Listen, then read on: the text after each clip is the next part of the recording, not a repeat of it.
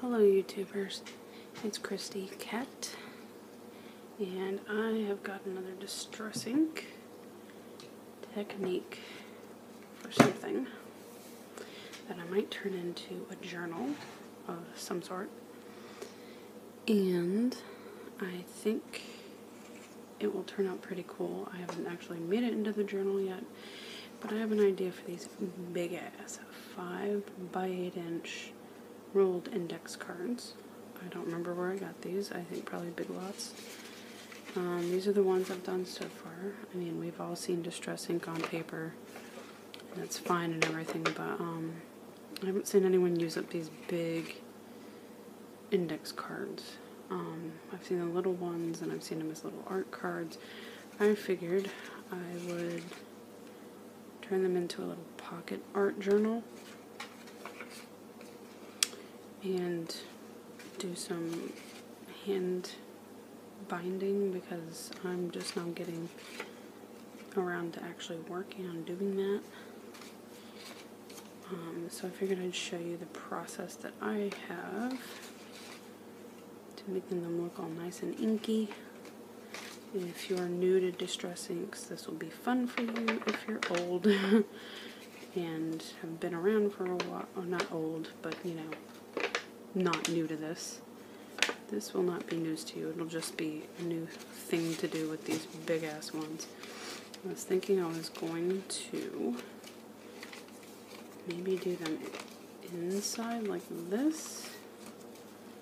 Let one of them be the cover. And maybe just bind them like that and I'll have the inside to make notes or doodle or whatever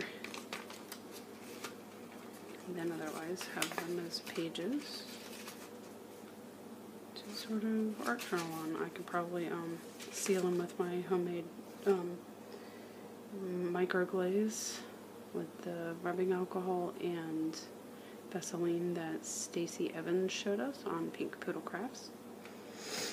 I'll probably do that maybe before I go doing that. Maybe I'll seal them first on the outside and then do that binding, but um, maybe just to whatever it's called, pamphlet stitch, I think. Maybe not. I don't know. I'm not good at my stitches yet, but so let's get started.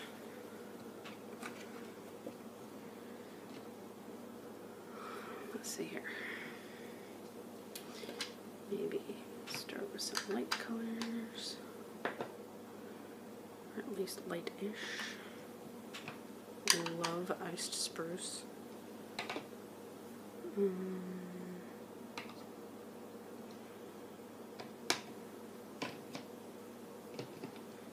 Have every just distressing color that I know of. Um, the last ones were the seasonal ones. And I finally just got the rest of them, I think, maybe last year or the year before. Whenever they were brought out. I was about a year late behind everyone else.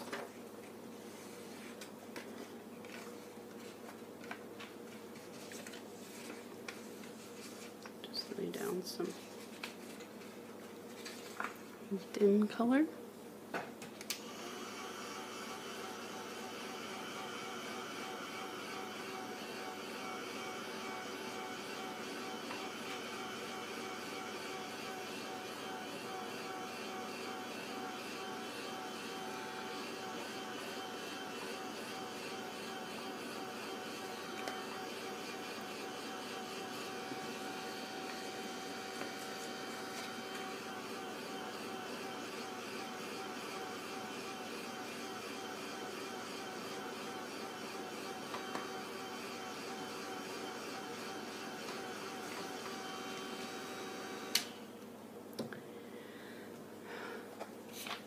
Sippy time.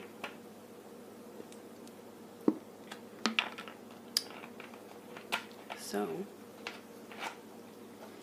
I think I started on the wrong side of the page. I think what I'll do is I'm going to try to do these as double-sided as well and try that. Because it's a little separate book. So let's do some brighter colors.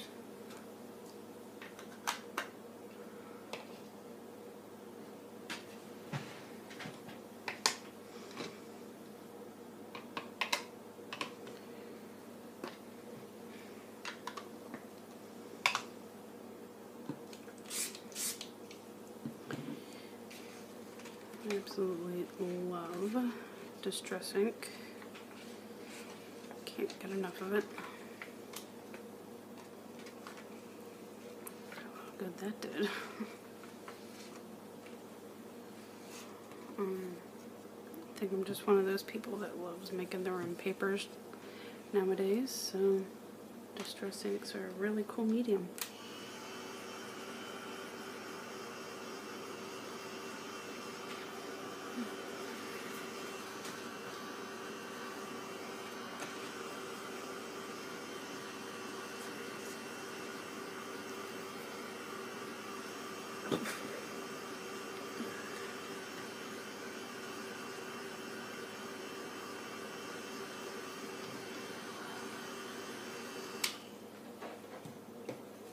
So, in case you've never worked with distress inks and you're really, really new to this and you don't know anything about working with them, you want to dry them between layers because if you don't, they really will muddy.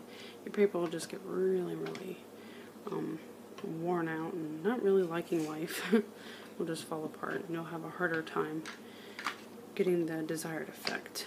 So, I highly suggest drying the paper in between. I'm just putting these down on the craft mat the way Tim Holtz does. I'm terrible at the whole blending thing the way Tim Holtz does, and everyone else. I just do this. It's direct paper to spritzy water effect, whatever that's called. I forget. Sometimes I just smear it around and get the color all over.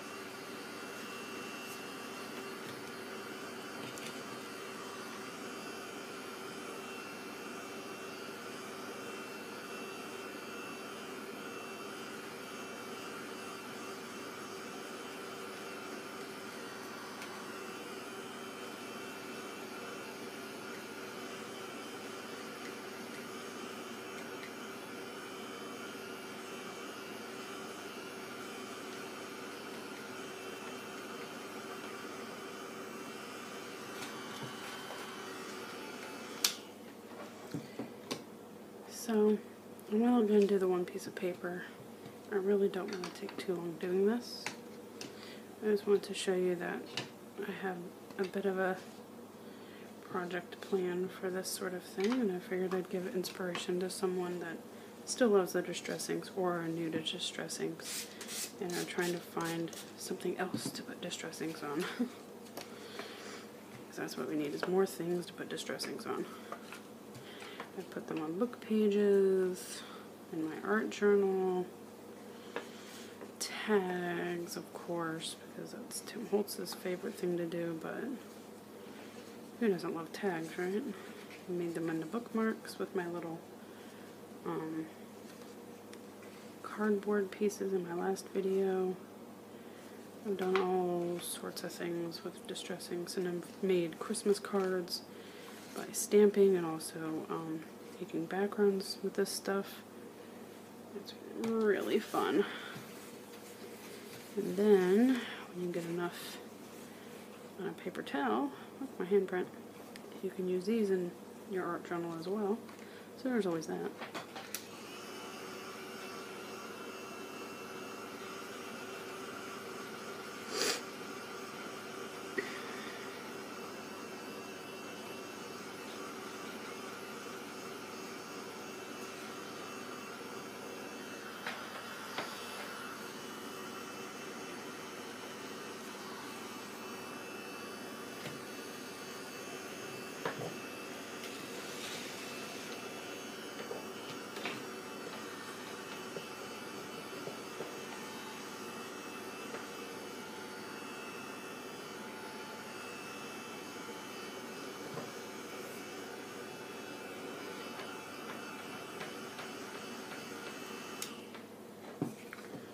So, there's that.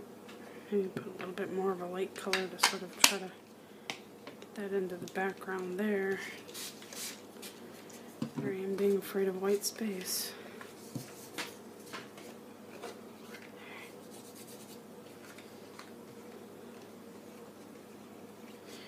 I need to remind myself to make white space my friend. Don't be so afraid of it. Integrate it into part of the piece.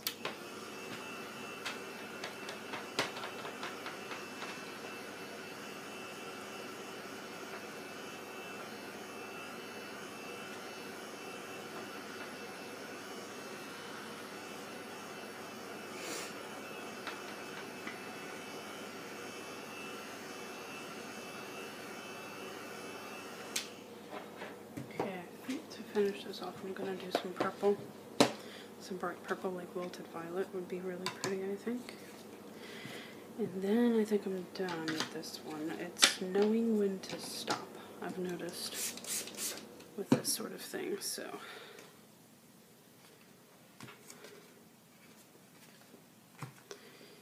Oop, that's a bit too smeary, but that's okay. If you do it just right, you can get the little dots. And when it dries, the dots look pretty darn cool. There we go.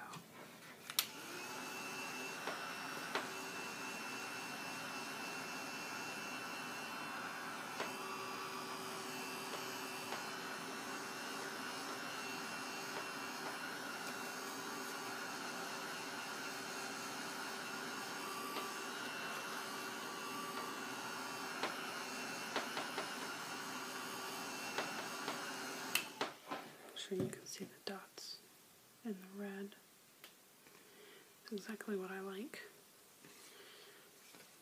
So, it's quite splotchy and weird to most people probably, but I think it looks pretty cool.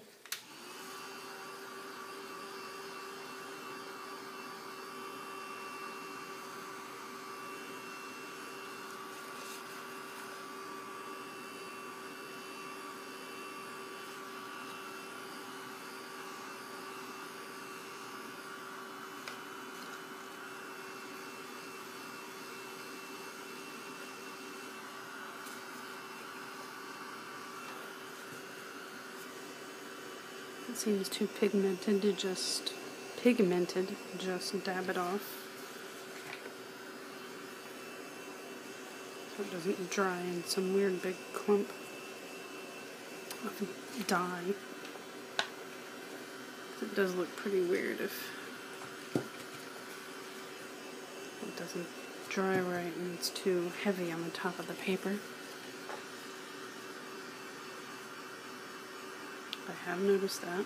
I might not be great at blending from the side with the little piece of felt like Tim Holtz, but I'm good enough to realize this stuff when it's too thick it dries really weird. So yeah. So I just wanted to show you that technique and I will see you later. Thanks for watching. Bye.